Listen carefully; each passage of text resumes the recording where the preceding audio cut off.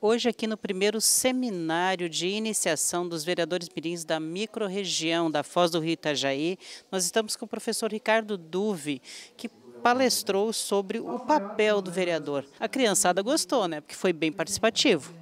Foi, gostaram muito e é muito interessante ver essa vontade deles de quererem mudar a realidade em que eles vivem. E o nosso papel aqui é não fazer com que eles abandonem essa vontade, mas dar instrumentos para eles, assim, mostrar, olha, agora vocês são vereadores mirins, vocês têm um caminho, vocês têm uma função que vocês podem exercer e como que a gente pode viabilizar isso? Mostrando para eles o que um vereador pode e o que o vereador não pode fazer. Né? Então a gente foi trabalhando com isso para tentar dar razão, tentar dar base para que eles consigam mudar tudo aquilo que eles imaginam ser importantes. Houve até perguntas bem interessantes. É, é, se conseguiu ver que não tem tanta é, confusão assim sobre os papéis do que daquilo que é o vereador e do que é o executivo, que geralmente a população confunde, né? Mas a criançada aqui parece que já te, tinha alguma base, né?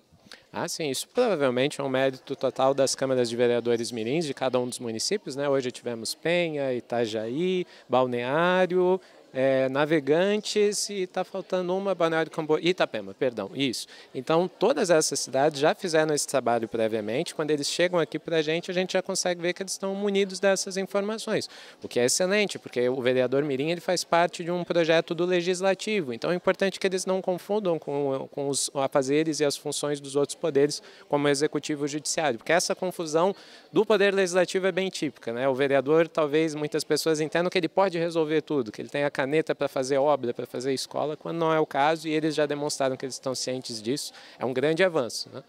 E isso com certeza é uma coisa que aparece, inclusive às vezes aqui na, durante as sessões, há muita gente que confunde os papéis. É, nesse caso, foi interessante para eles verem, uh, por exemplo, que existem quatro papéis fundamentais do vereador. Uhum.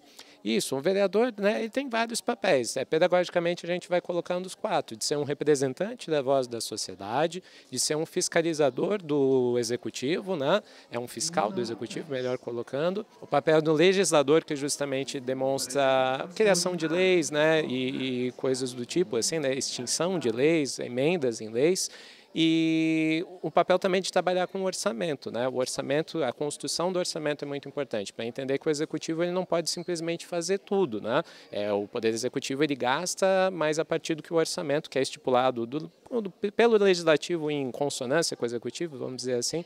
Mas essas quatro definições são muito importantes para eles entenderem como eu citei, né? O que o vereador pode e o que ele não pode fazer. É tão importante quanto entender o que ele não pode do que ele pode, né? Para que não tenha essa confusão.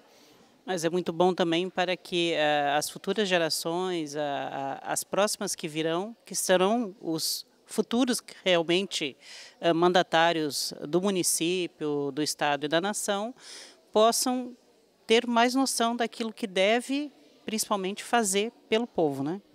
É, tem, tem uma frase muito clássica de um dos maiores intelectuais brasileiros, o Victor Nunes Leal, ele escreve um livro que é Coronelismo, Inchada e Voto, e uma das primeiras frases ele fala, o poder começa no município. Né?